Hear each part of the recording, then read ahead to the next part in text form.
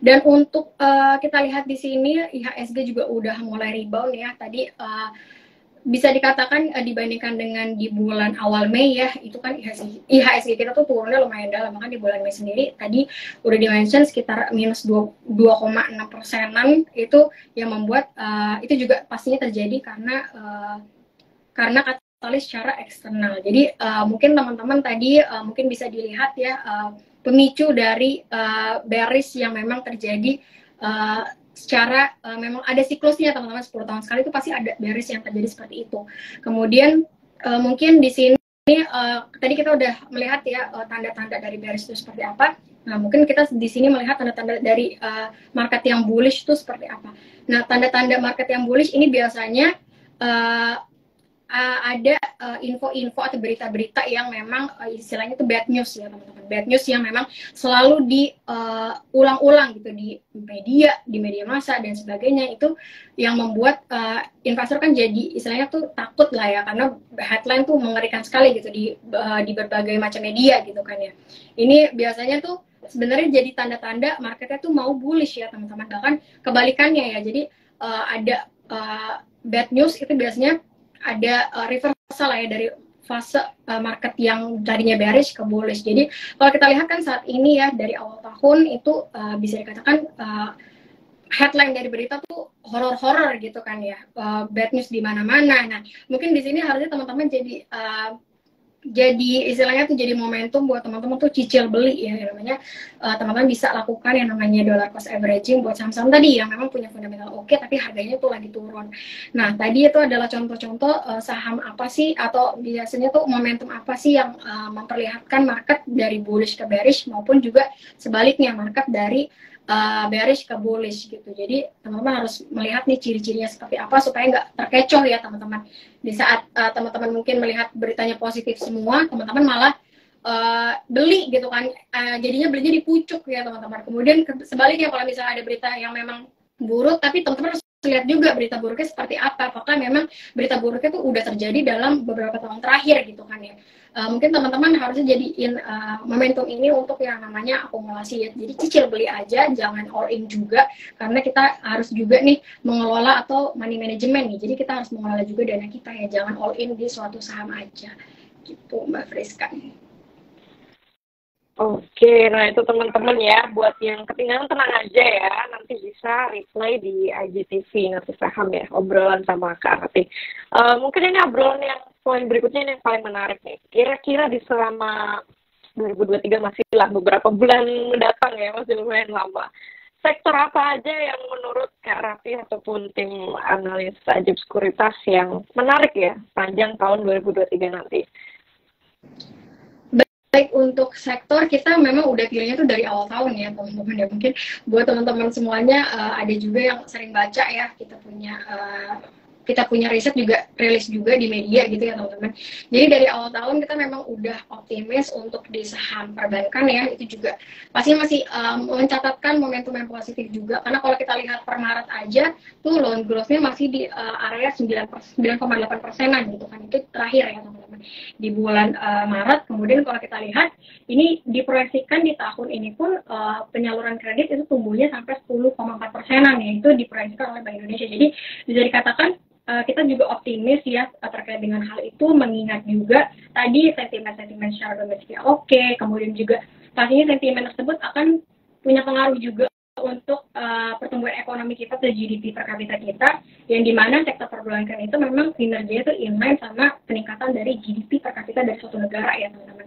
Kemudian kalau kita lihat konsumsi kita juga masih oke, okay, konsumsi juga masih uh, oke okay, yang terlihat dari IKK kita yang masih optimis ya bahkan kalau kita bisa bandingkan ya kita punya PMM manufaktur kemarin di uh, beberapa bulan terakhir itu ditopangnya malah uh, di ditopangnya oleh konsumsi domestik bukan oleh ekspor ya jadi bisa dikatakan uh, memang inline antara uh, pertumbuhan atau bisa dikatakan uh, konsumsi yang terjadi secara domestik yang solid ini itu ke berbagai uh, rilis ya dengan makronya itu sendiri seperti PMI manufaktur, IKP yang masih optimis ya.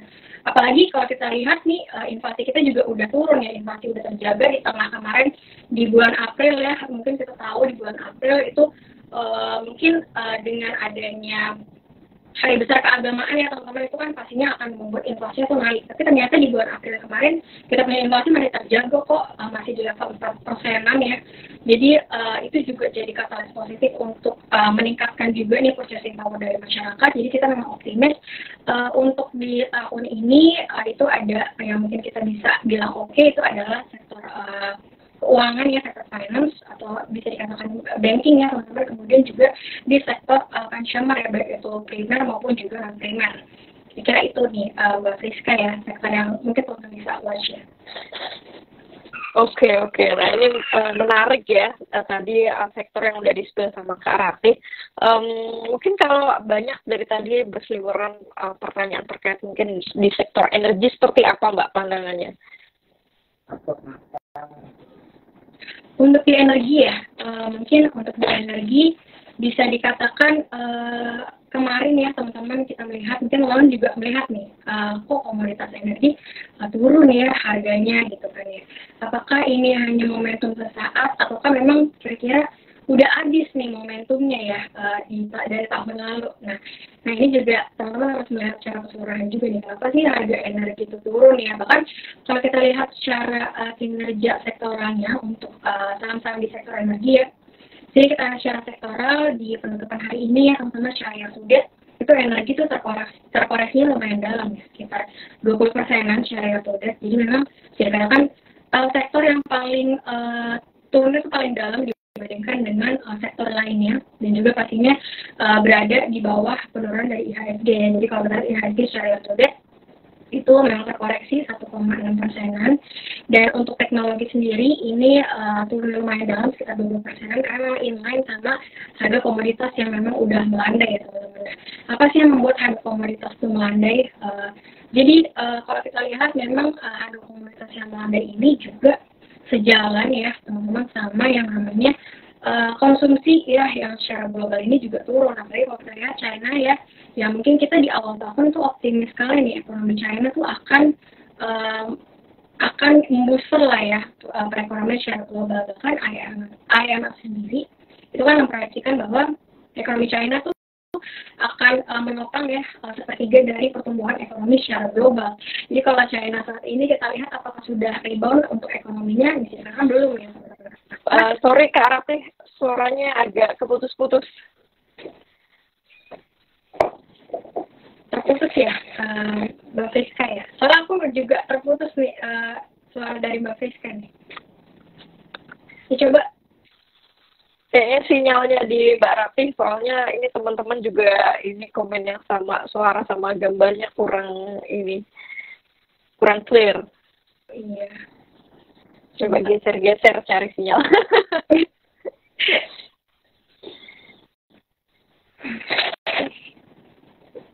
Uh, sudah oke okay belum Mbak Frika Uh, masih ini sih gambarnya sih masih blur tapi coba suaranya belum tahu nih. Bentar aku ganti provider kali ya. Hmm.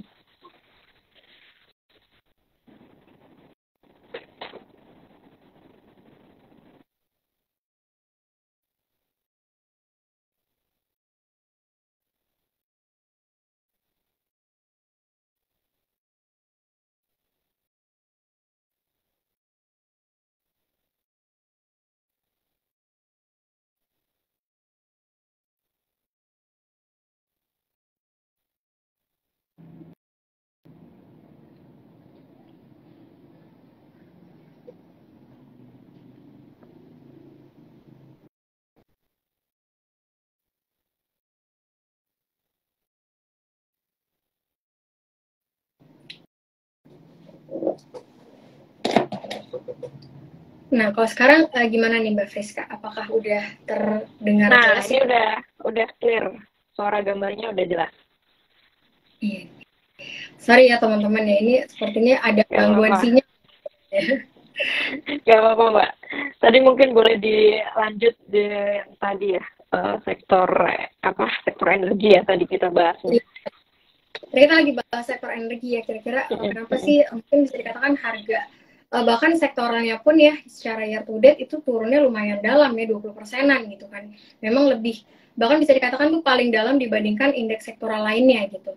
Uh, mungkin uh, saya mungkin bisa konfirmasi lagi nih um, Mbak Friska apakah udah udah jelas nih uh, udah udah jelas sih dia aku udah suaranya udah okay. clear juga. Oke, okay, jadi uh, balik lagi ke sektor uh, energi ya teman-teman semuanya. Tadi kenapa sih mungkin bisa dikatakan sektor energi itu uh, kurang perform gitu. Jadi kalau kita lihat memang secara harga komoditasnya juga udah melandai ya bisa dikatakan seperti itu. Karena konsumsinya juga secara global, apalagi kalau kita lihat China yang belum sepenuhnya rebound ya, terlihat dari inflasi uh, yang terjadi di China itu juga masih di bawah uh, targetnya Bank Central of China ya atau PBOC di level 0,1 persenan. Kemudian kalau kita lihat selain katalis dari China juga yang masih belum sepenuhnya rebound ya di tengah memang uh, eh, IMF sendiri yang memproyeksikan bahwa China itu akan menopang uh, sepertiga dari pertumbuhan ekonomi secara global loh. Dan di sini juga kalau misalnya uh, ekonomi China juga masih belum rebound dan kita melihat di sini otomatis konsumsi uh, akan energi juga akan uh, turun gitu kan ya. Dan permintaannya juga akan turun. Kemudian kalau kita bisa bilang uh, misalnya uh, di US pun ya teman-teman tadi uh, terlihat dari uh, mereka punya optimisme konsumen, mereka punya uh, Michigan Consumer Index ya itu memang turun uh, dan juga menandakan nih bahwa purchasing power masyarakat itu juga uh, menurun dan uh, ini juga menandaksi akan energinya juga turun. Nah, uh, untuk konsumsi energi yang turun ini juga terlihat dari PM manufaktur ya teman-teman di, di US yang masih di level uh, kontraktif ya. Jadi otomatis industri manufaktur di sana belum uh, berjalan secara normal seperti di sebelum uh, pandemi. Uh, kemudian juga di uh, normal sebelum juga bank sentral US yang memang uh, naikin suku bunga cukup agresif ya.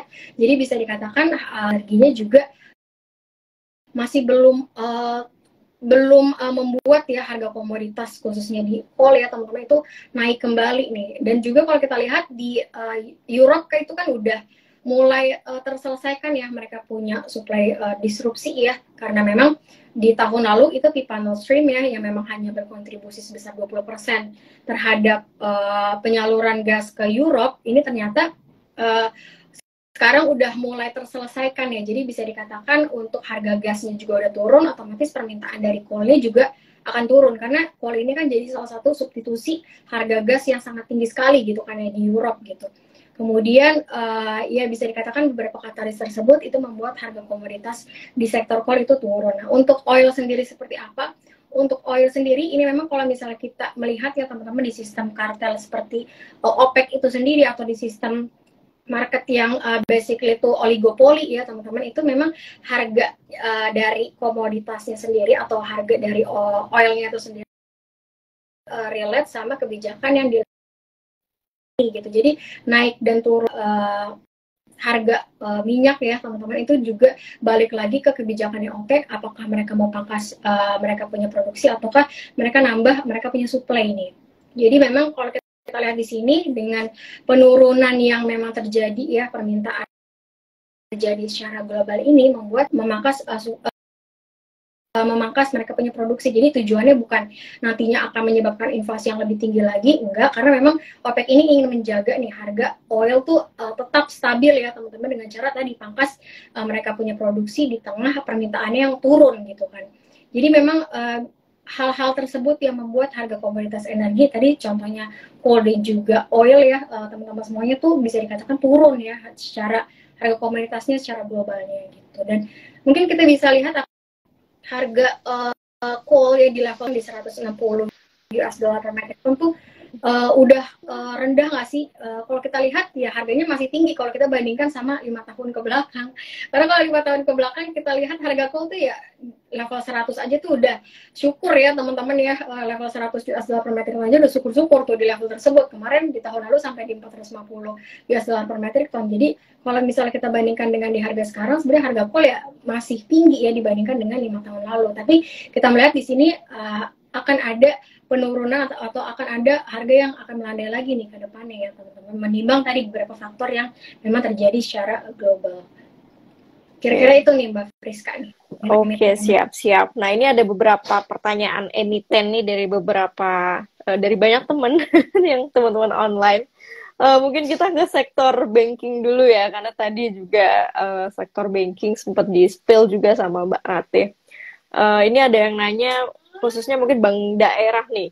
Uh, performa bank daerah bagaimana seperti BJTM sama BJBR. Nah, kalau mungkin Big Four kita udah tahu ya beberapa uh, bahkan ada yang all time high ya seperti BBRI, tapi untuk uh, bank daerah sendiri seperti apa, Mbak? Mungkin uh, kita akan lihat secara uh, mungkin kalau bank kita akan lihat dari ROE sama dari PBV-nya ya teman-teman semuanya itu cara gampangnya aja nih buat teman-teman tahu apakah saham tersebut tuh uh, under value atau seperti apa. Jadi mungkin kita akan lihat dulu untuk uh, tadi BJTM ya. Untuk BJTM sendiri ini memang kalau kita uh, melihat ya dari uh, sebentar. Untuk BJTM sendiri kita akan lihat dari uh, rasio keuangannya ya teman-teman. Dari ROE-nya dulu kita lihat untuk ROE-nya BJTM itu memang di sekitar 10,4 persenan. Sedangkan untuk uh, tadi BJTM sama B tadi BJTM sama apa? Sorry uh, Mbak Friska. BJ BJBR, BJBR. Pasang ini oh, iya. biasa. Untuk BJBR kita lihat di sini ROE-nya itu di level 9,76. Eh, Jadi kalau bisa kita uh, bandingkan ya antara BJTM dan juga BJBR, ini bisa dikatakan ROE dari uh, eh, BJTM itu lebih menarik ya teman-teman di level 10 persenan. Kemudian kalau kita lihat dari PBV-nya untuk uh, untuk PBV rasio dari BJBR itu memang di level sekitar 0,82 kali, sedangkan kalau untuk uh, BJTM untuk BJTM itu di level uh, 0,8 ya. Jadi memang uh, hanya berbanding tipis antara BJTM dan juga uh, eh, BJBR. Jadi uh, secara uh, kita lihat dari rasio uh, return on equity-nya dari ROE-nya memang masih unggul uh, BCTM di level 10 persenan. Dan untuk uh, melihat lebih jauhnya lagi, mungkin teman-teman bisa breakdown uh, dari uh, loan-nya ya, teman-teman dari loan-nya. Kemudian mungkin teman-teman bisa lihat juga dari NIM-nya ya, teman-teman itu juga bisa sekali melihat dari uh, loan growth-nya besaran mana antara BJTM dan juga BJBR Kemudian juga teman-teman bisa bandingkan dari uh, selain loan growth-nya, teman-teman bisa bandingkan juga dari uh, NIM-nya ya atau net interest margin-nya. Itu untuk melihat kira-kira profitabilitas dari uh, perbankannya itu seperti apa. Tapi kalau kita lihat memang untuk saat ini kita lebih uh, prefer ke uh, big banks ya teman-teman. Karena untuk big bank sendiri ini kan memang uh, mendominasi kan uh, kredit secara uh, domestik juga.